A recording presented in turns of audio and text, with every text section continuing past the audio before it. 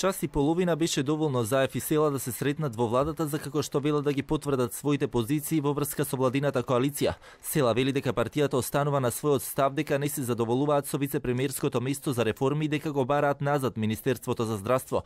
Тврди остануваат во владата за да ги поддржат неизините реформски процеси, бидејќи подеднакво и тие се бореле за уривање на како што рече предходниот режим. Ќе го држиме Министерството за здравство.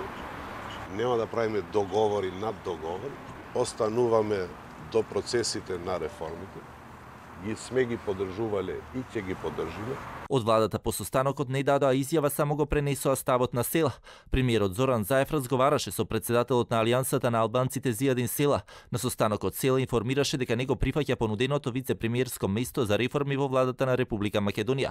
Во изјавата за медиумите Села исто така саркастично рече дека му предложил на премиерот Заев и нова владина функција, конкретно на менета за Дуј. Да здадов дадов предлог на премиерот да стокне уште една друга позиција, што би било заменик премиер за носење бурек. И после таа позиција ќе му го дам на Дуи. На ова експресно реагираше и пратеникот од Дуј Артан Груби, кој пак му порача на села дека тој треба да биде министер за како што рече носење на бурек. Тоа е негово барање и негова идеја и како одговорен за тој ресор, добро би се снашал во ваквата функција, додава Груби. И додека села најавува внатре-партиски консултации од кои ќе зависи дали ќе излезат или ќе останат во владината коалиција, за во понеделник веќе се очекува и предлогот за нов министер за здравство Венко Филипче да се најде во собраниска процедура.